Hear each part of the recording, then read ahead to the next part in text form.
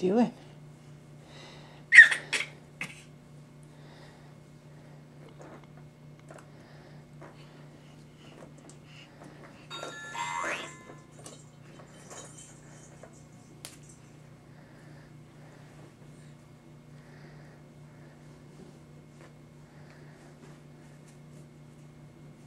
This little puppy went to market.